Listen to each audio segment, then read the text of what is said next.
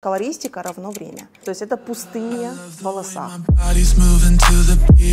И как только ты воду пускаешь в эти волосы, они сразу оживляют.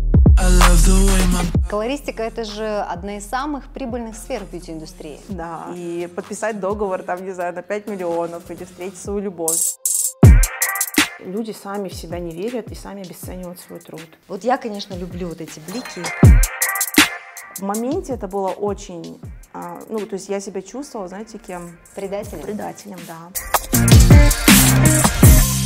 Шахриз, я знаю, что вы э, имеете 13-летний опыт в бьюти-индустрии и одна из лучших мастеров по колористике, да, то есть вы можете сделать цвет волос, там, как у Дженнифер Лопес, у Дженнифер Энистон. Где вы обучались?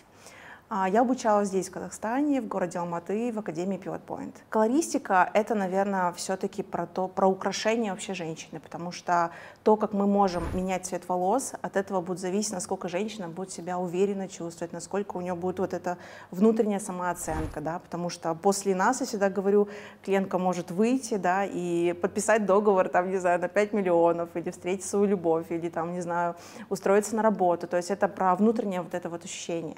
И очень важно, конечно же, подбирать человеку вот тот цвет волос, который будет ее украшать, в котором она будет себя чувствовать очень комфортно. Вот. И колористика — это все-таки про цвет.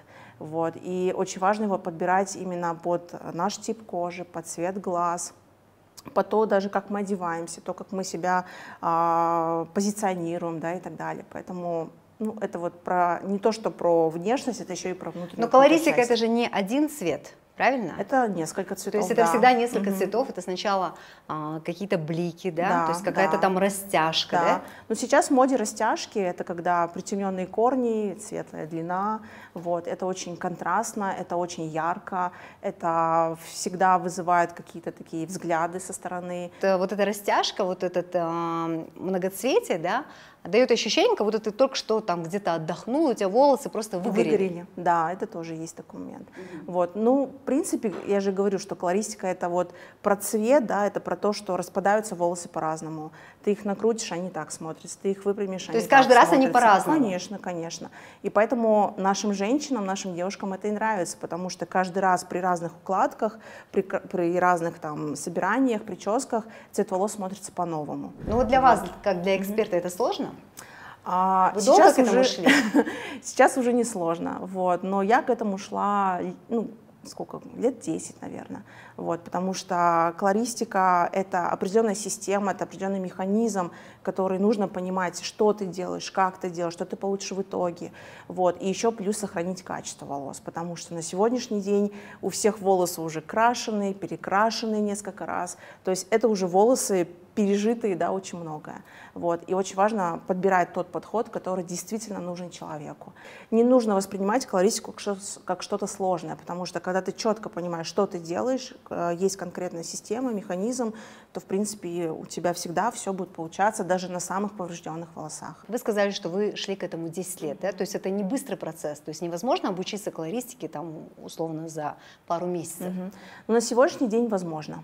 Вот, потому что когда я начинала 13 а, лет назад, все равно было меньше информации, и мы эту информацию вытаскивали откуда-то, где-то искали, да. А сейчас этой информации очень много, даже в интернет-пространстве ты можешь в бесплатном доступе найти очень много информации и уже на этом учиться. Вот мы, например, в блоге выставляем разные рилсы, и люди просто берут, также делают, также э, смешивают, наносят. Даже в домашних условиях есть люди, которые это делают, и все получается, понимаете. То есть сейчас легче, потому что информации много. Но от того, что ее много, нужно научиться в ней разбираться. Вот, и как раз мы учим как бы в этом разобраться. Но, в принципе, из-за того, что информации много, на сегодняшний день стать колористом не так сложно и не нужны годы. Мне кажется, только опытный э, хейр-стилист, опытный колорист знает, э, сколько процентов, да, там условно нужно там аммиака, да, сколько процентов краски. Mm-hmm. Я все время смотрю, когда э, хейр-стилист замешивает это все, да, то есть ты понимаешь, что от него зависит, по сути, что у тебя потом будет на голове, да? Да. Ну, я всегда говорю своим ученикам, что нужно развивать видение. И чем больше ты его развиваешь, чем больше ты еще это в действии делаешь, тем легче потом тебе, в принципе, подбирать цвета клиентам, четко понимать, что ты сделаешь, что ты получишь в итоге и так далее. То есть без практики, конечно, ну, это невозможно. Да, ты можешь какую-то систему взять, но если ты ее не внедришь в жизнь, да, то смысл чего-то ждать, каких-то результатов быстрых. Вот, поэтому вот я, например, на своем пути, да, я даже представить не могу, сколько людей перекрасила. То есть мы, я работаю с клиентами, продолжаю да, работать. Я еще работаю с моделями на обучениях. И это в купе огромное количество людей. Это разные волосы, разный тип волос, разный, разная внешность. Да? И это мне помогает, по сути, а, подбирать любые окрашивания для любых волос. Поэтому обязательно нужно развивать видение, чтобы понимать, что ты делаешь клиенту. Вот. И брать ответственность за то, что ты делаешь. Потому что есть специалисты, которые просто делают. Вот. Но мне кажется, что если ты Знаете, взялся ожидание за человека, да, да? да, если ты с взялся за человека, волосами, да, там, с если ты берешь за это деньги, я очень прошу брать ответственность за то, что ты делаешь, потому что клиент к тебе приходит с доверием, с уважением, да, там и так далее. Он готов на все, он даже готов тебе платить за это, да, но если не оправдались ожидания, это самое ужасное, что может быть. Поэтому развивайте видение, и тогда будет легче даже вам самим работать. Не будет вот этого страха внутри, каких-то сомнений. Что обучаться, ты что-то не так обучаться, делаешь. обучаться, да, все Ну, время. это да, потому что, вот даже я вам скажу, полгода назад, как я работала, и сейчас, как я работаю, это разные вещи. То есть все время приходят новые продукты, Да, новые, новые технологии, продукты, да? новые технологии. А, Люди начинают а, больше углубляться в химические процессы и четко понимать, а, даже в структуру волоса начинают углубляться, чтобы понимать, на каких слоях вол- волоса да, мы работаем. Шахриза, а можно сегодня, например, сделать блики, да, обесцвечивая, я так понимаю, волосы, но не повреждая структуру волоса? Можно.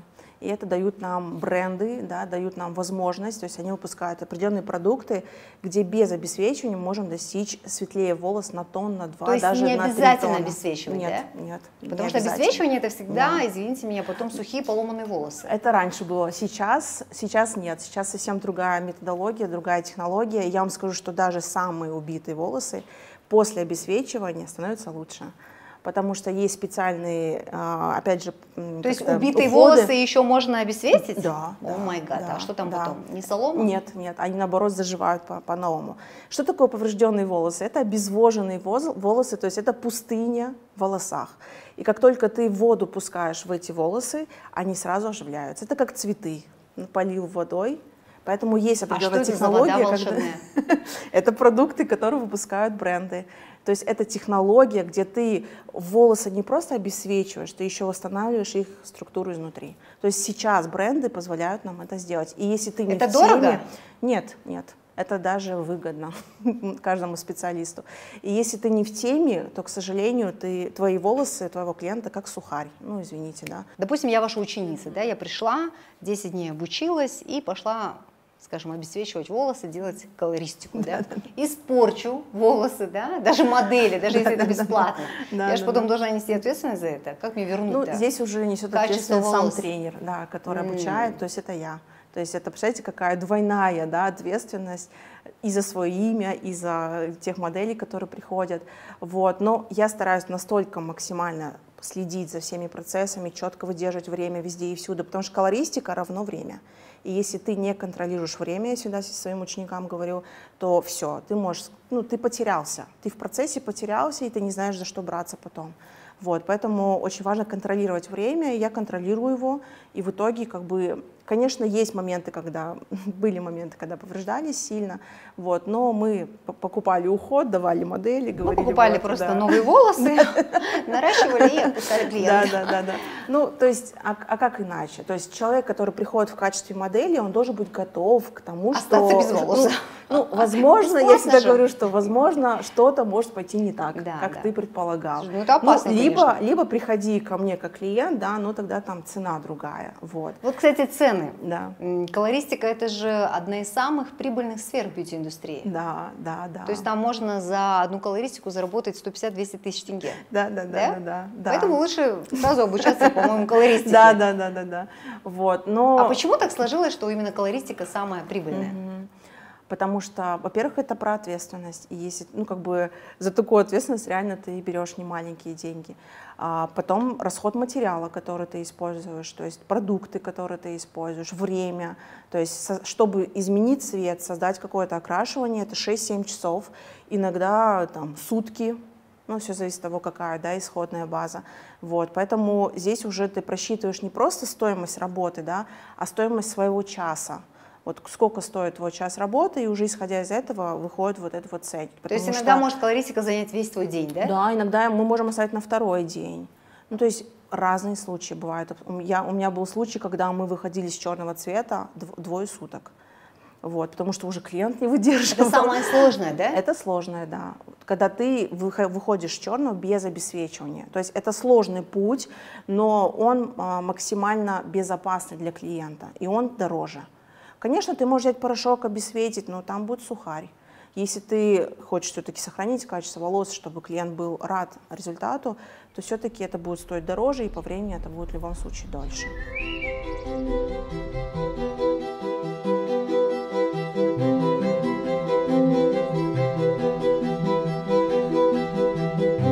Буквально как год мы начали завозить один из брендов, потому что у нас на рынке не всегда есть те возможности, да, которые, ну, которыми мы бы хотели воспользоваться. Это краситель Tempting, это испанского производства, он идет веганский, вот, у него нет резкого запаха, и в чем его плюс? То в том, он что без аммиака? Он без аммиака, да. Угу. Вот, у него нет резкого запаха, и у него есть возможность рассветлить волосы. То есть сейчас мы можем рассветлить волосы без обесвечивания. То есть это не блондекс? Это нет, это не порошок. Я помню, когда я училась угу. в школе еще, по-моему, с девчонками решили обесцветить волосы. Дженнифер Лопес была популярна, и тогда, и сейчас, в принципе. И мы просто намазали весь этот блондекс на голову, и у меня были волосы, я не знаю, рыжие, черные, синие, белые. То есть там они просто оказались э, соломенные. Серо-буро-малиновые. Серо-буро-малиновые. И не было такого, знаете, ровного да, осветления. Да, да, да. Вот, поэтому сейчас возможностей очень много, и мне очень хочется эти возможности показать нашим специалистам, потому что не все об этом знают, и в основном все берутся сразу за порошок и обесвечивают, хотя есть другие варианты. Это мягкое. Более щадящее, да, это мягкое. мягкое да, да, да, да. Осветление вот так Осветление. вот. Да, да, да. То есть он может наши азиатские волосы рассветлить на три тона. Вот, и сразу заложить оттенок. То есть мы можем То есть обойтись... не ломается? Нет, нет. И мы можем обойтись без тонирования в последующем. То есть он дает сразу оттенок. Вот, это два в одном, можно сказать. Удобно очень. Ты сохраняешь и время, и качество волос. А что такое бразильское колорирование? А, это контрасты, то есть это темные корни, светлая длина. Вот, и чаще всего это просто какие-то линии прям конкретные, блики, да, да, да. да. То есть никаких вот прям переходов, хорошо. Это, ну, то есть там нет каких-то конкретных прям переходов э, мягких, да, то есть там прям контраст. А вы сначала начесываете волосы, да, перед? Можно начесывать, можно выдувать, можно делать милирование. Это шатуш называется. Шатуш, да. да вот шатуш. шатуш мне нравится. Да, кстати. да, да. Шахриза, вы 13 лет вот в своей профессии, вот если так посмотреть, она же по сути вредная профессия. Вы же постоянно дышите а, парами красок, да, лаков, ну то есть это все равно химия. На сегодняшний день я бы не сказала, что прям опасно. Вот когда я начинала 13 лет назад, ты разводишь краситель, начинаешь его мешать, и это мяг в глаза. У тебя слезятся глаза, нос, да, некомфортно тебе. Вот, клиенту некомфортно, потому что он чувствует запах. Вот на сегодняшний день мы даже завозим а, продукт веганский, да, то есть у него нет запаха. Мы красим аллергиков, а, беременных, кормящих. То есть я родила двух детей. ну, то есть все нормально. На секундочку, у Шахризы сейчас двухмесячный ребенок дома. Да, да, да, в Алмате, а мы в Астане. Да, да, да. Вот, то есть абсолютно То есть вы, никаких и, и вы беременной тоже работали? Да, да. До последнего? Да, до последнего, да. Я прям, у меня оставалось где-то неделю до родов, я вот э, записывала клиентов, вот, и потом уходила спокойно рожать. вот, поэтому можно по мне сказать, что это безопасно. Сегодняшние бренды в бьюти-индустрии да. позволяют, да. Э, то есть без аллергии да. спокойненько, да? Ну, конечно, еще зависит от уровня бренда, потому что если это дешевый бренд эконом-класса, там, конечно, дешевое сырье, там запахи прям конкретные, да, и с ними невозможно, они могут вызвать аллергию и у мастера, и у клиента. Но если у тебя продукт качественный, премиум Вы работаете класса, с люксами, да? Да, мы с люксами работаем. Ну, начинала с эконома, потому что изначально у меня не было денег на то, чтобы купить сразу премиальные продукты. Но сейчас премиальные, потому что у меня как бы и ценник, и имя, узнаваемость, поэтому я не хочу падать в грязь лицом.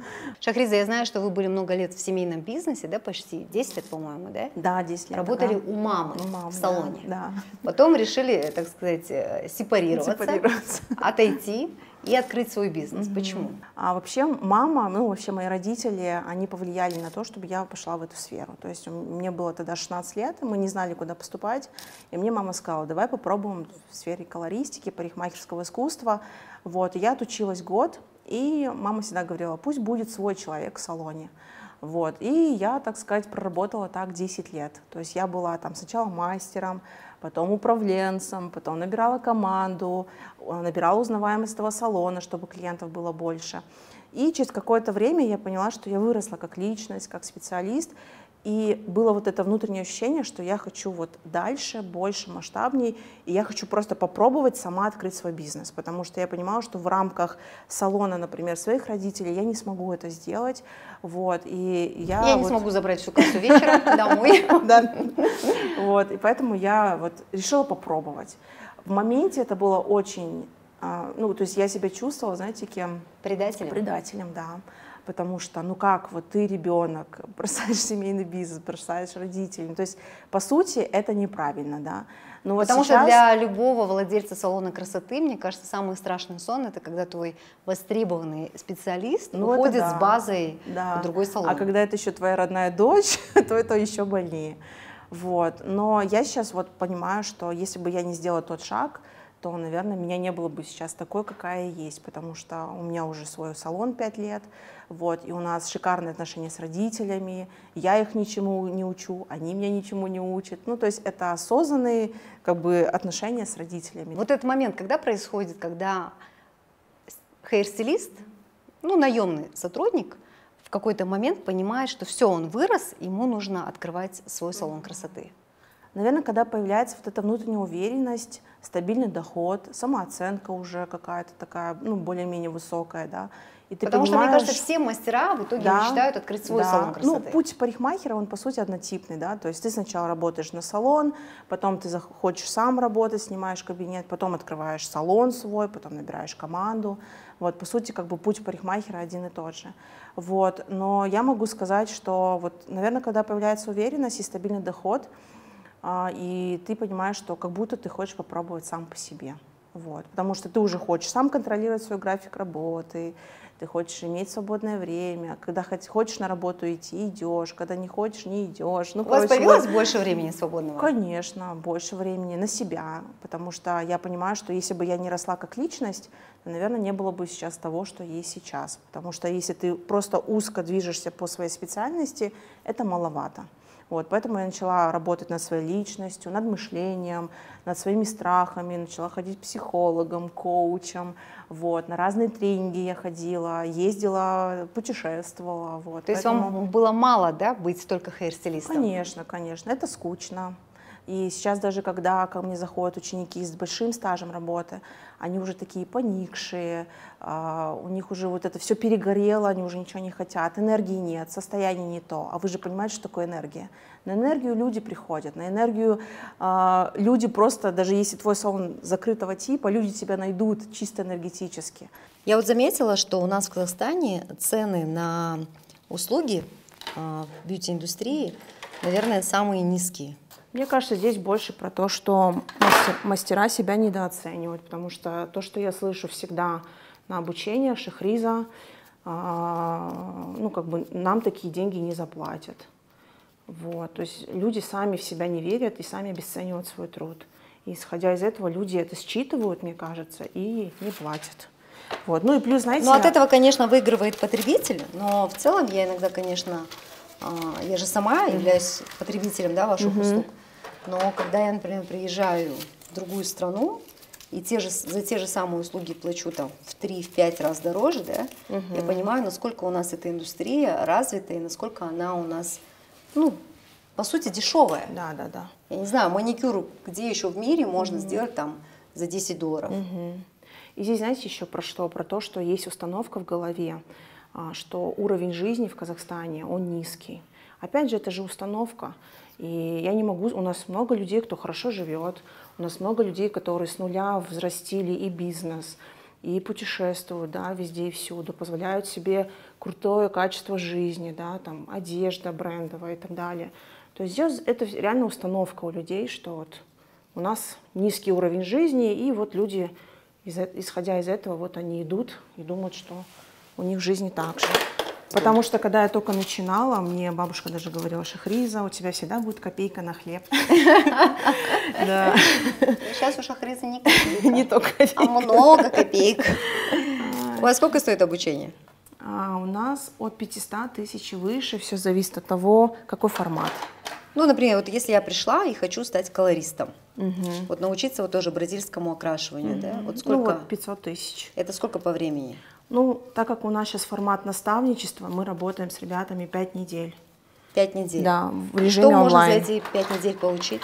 Можно получить, ну, во-первых, понять, что такое колористика, потому что то, как я подаю ее, не подает никто, потому что я объясняю на русском языке простом, потому что у нас учится очень много казахскоязычных, и, а так как я на казахском не разговариваю, вот, я выстроила свою программу так, чтобы меня понимали все. И дальше уже мы учим ребят зарабатывать на этом. То есть не только быть классными специалистами, но и научиться на этом зарабатывать, это правильно монетизировать. У нас в Казахстане бьюти-индустрия развивается ну просто стремительно, да. Я, когда езжу за рубеж, в Европе, а, в Юго-Восточной Азии, да, я, ну, мне нужно пойти в салон, потому что я веду мероприятие или у меня какое-то интервью.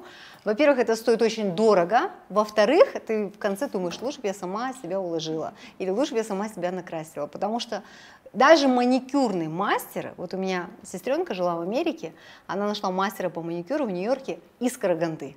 То есть наши делают лучше, дешевле и качественнее. Если брать страны СНГ, да, у нас действительно мастера очень талантливые очень классные, очень трудоспособные, трудолюбивые, они ради клиента готовы на все. У них очень много любви и заботы, которые они вкладывают в свое дело.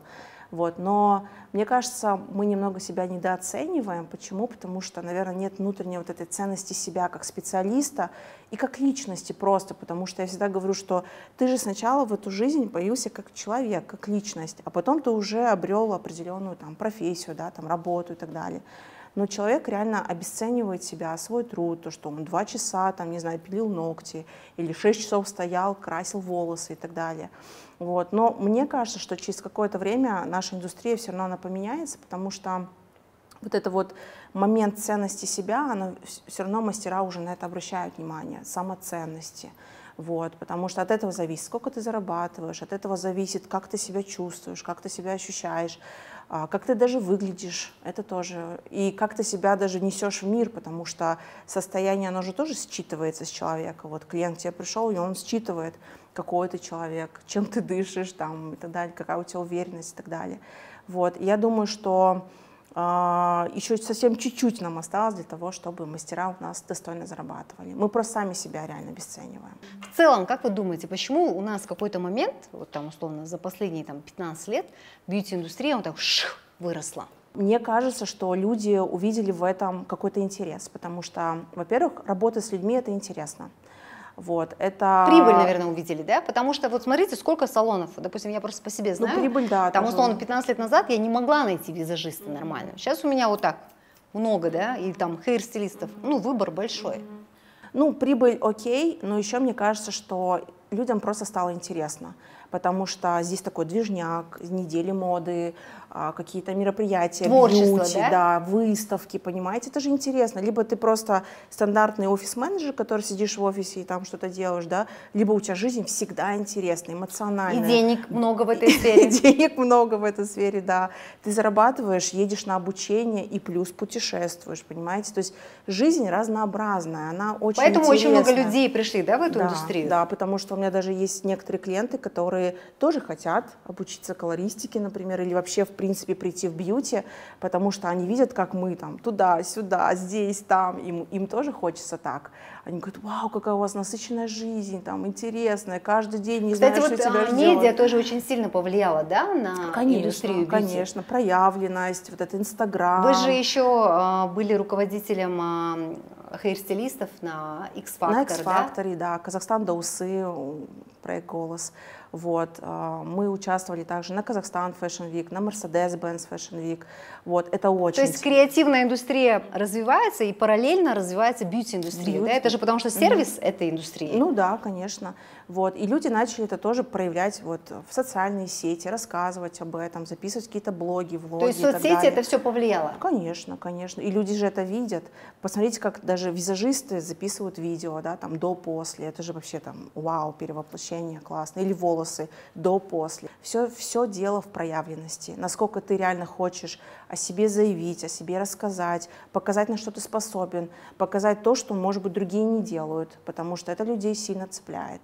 Почему вот а, большая, вот мы за год, например, из а, 13 тысяч подписчиков вышли в 100 тысяч подписчиков. Ну, то есть для индустрии hair это конкретно классный результат. Вот, и я понимаю, что значит мы делаем что-то то, что не делают другие, и людей это цепляет, вдохновляет, мотивирует, и они хотят так же. А у вас были ошибки в цвете, когда условно женщина ждала один цвет, а вы выдали другой? Да. Часто? Да.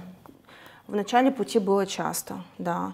А, И даже был момент, когда один раз отвалился волос. О, волосы или волос волос? один на макушке. Ага. Вот, я не доглядела, не увидела, вот, плохо проконсультировала, да. Но этого клиента я потом не видела, не увидела больше. То есть это был первый последний раз, когда у меня отвалился волос. Но были моменты, когда мы недопоняли друг друга, и тогда я поняла и сделала выводы, что нужно с человеком больше общаться, больше задавать вопросы, больше уточняющих вопросов для того, чтобы понять, что действительно хочет, хочет, наш да? клиент, да, потому что а, женщины, они же такие, сегодня они хотят это, завтра другое. Вот, и поэтому очень важно, ну вот даже прочувствовать ее настроение, ее вайп, ее энергию, даже то, как она одевается, то, как она себя позиционирует, это тоже. Потому что блонды, например, не всем идут. Если, допустим, не получился тот цвет, который вы обещали клиенту, вы Мы будете сразу брать, переделываем. а вы будете брать за это деньги? Нет, нет, Нет, да? нет. Даже бывает такое, что а, можем вообще деньги не брать. Но все зависит от случая. Потому что я к своей работе отношусь очень серьезно, и у меня есть совесть.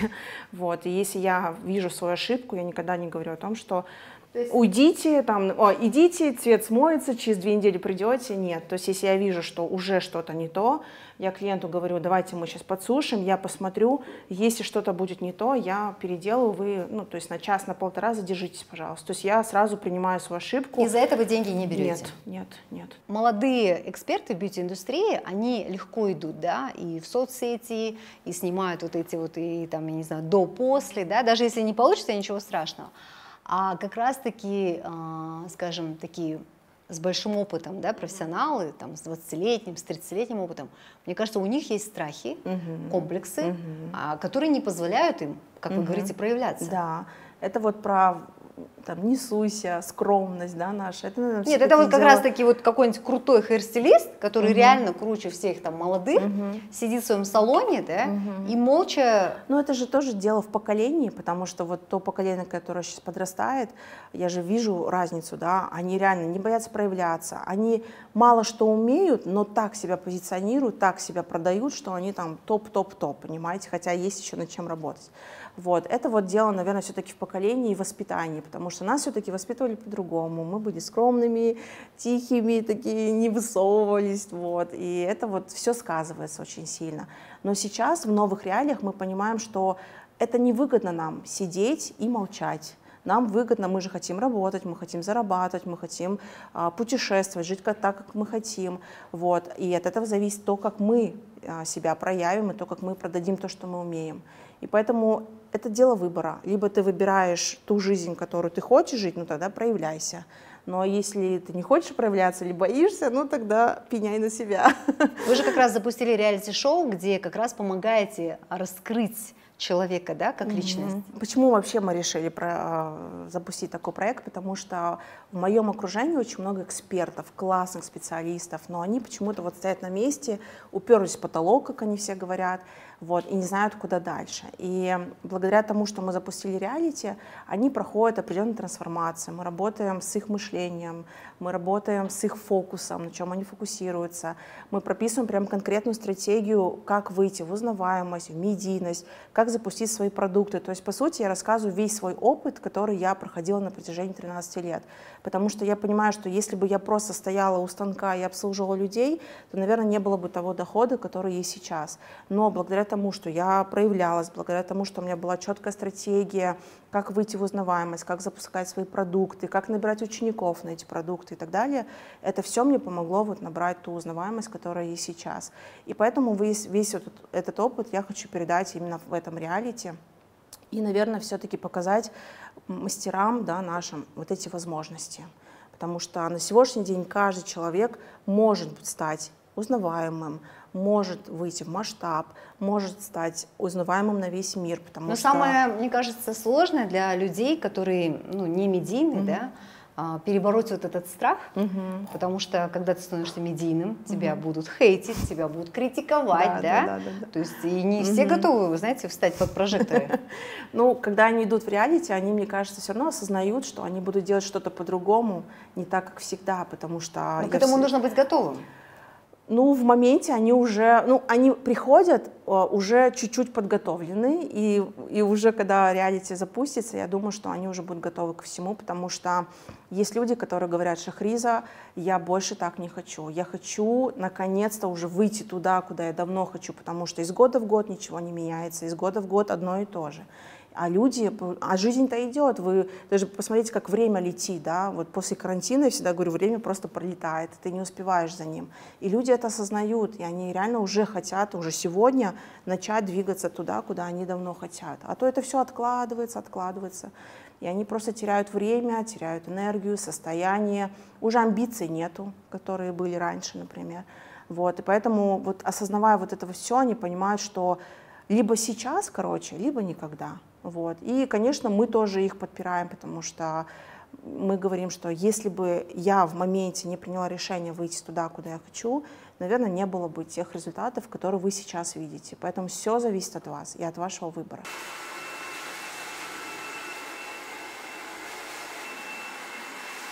Я жалею, что я не согласилась на полностью. Но ну, в следующий раз зато я приду и сделаю полностью колорирование. еще день повод встретиться. Будет парту.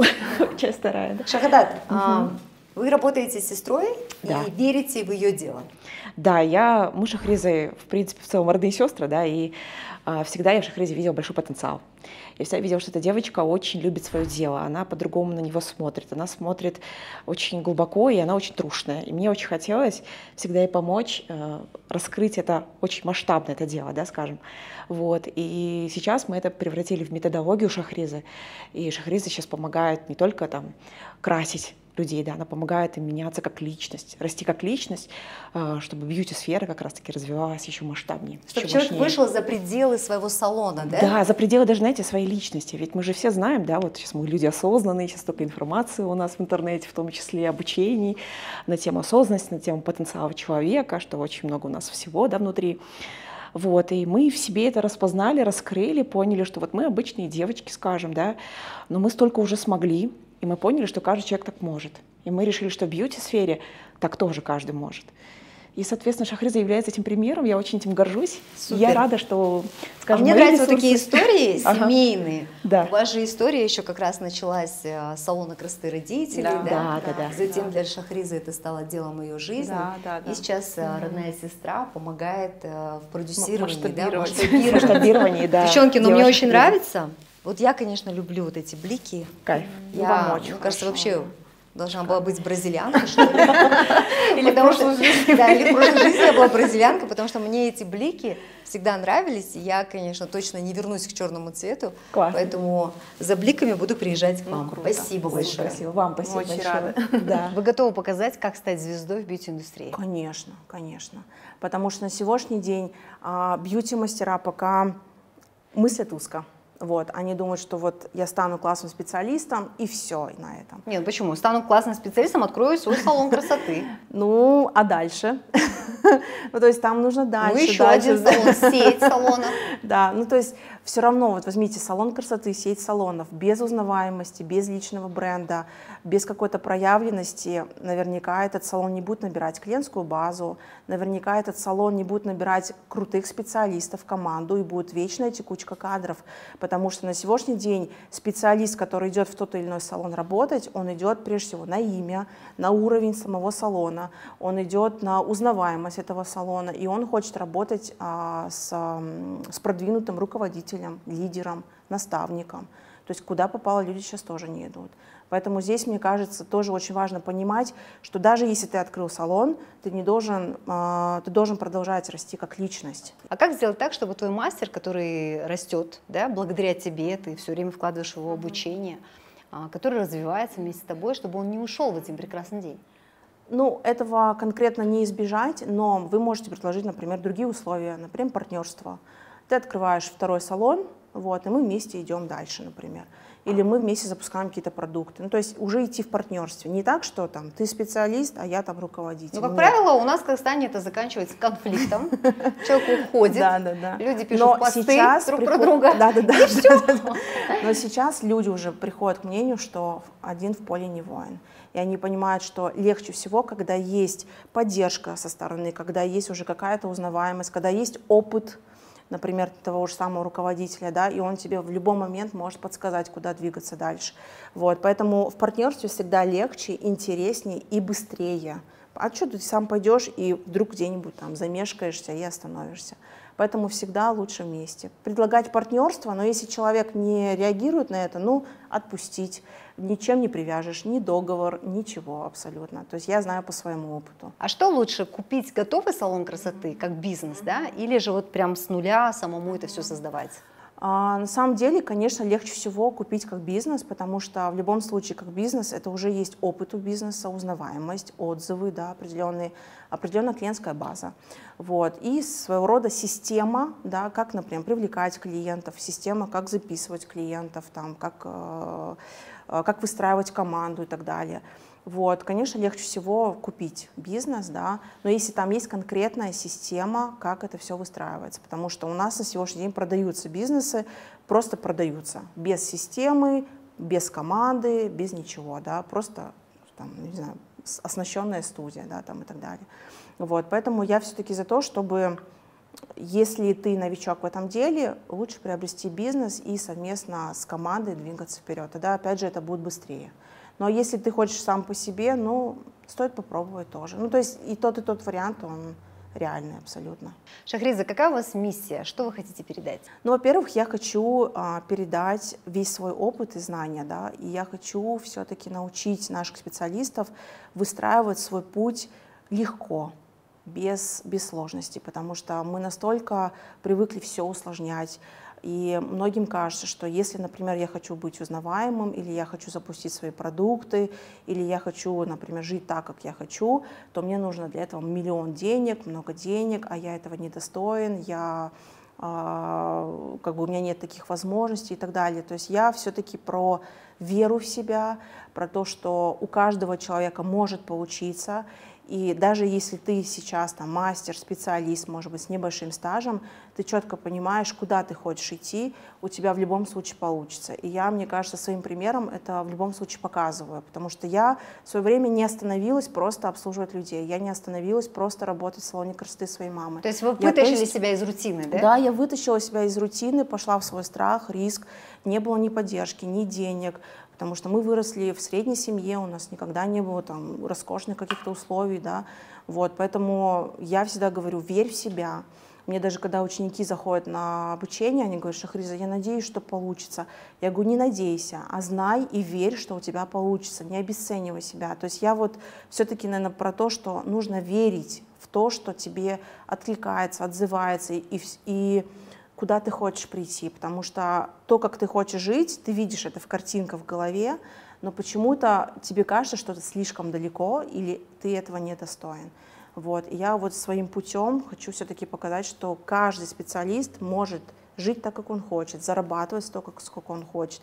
Он достоин уважения, признания, он крутая и сильная личность, и он достоин обслуживать там людей за высокие чеки. То есть это больше вот про веру, про состояние тоже про то, что получится. Это моя миссия. Через, получается, свой путь, да, я показываю людям, что это возможно, это реально, и что я э, девчонка с Казахстана, с города Алматы, и у меня учится весь мир, Америка, Европа, Россия, Украина, Израиль, Саудовская Аравия, вы понимаете? Ну, то есть география увеличилась. После чего? После того, как я просто начала показывать, что я умею делать. И благодаря этому опыту, да, этому пути я могу этот опыт передавать своим ученикам. И они, по сути, видят уже готовый кейс меня, да, и они понимают, что они могут также, и у них также получится, если они будут идти в свои страхи, а не откладывать свою жизнь на потом, а делать в моменте, принимать решения в моменте.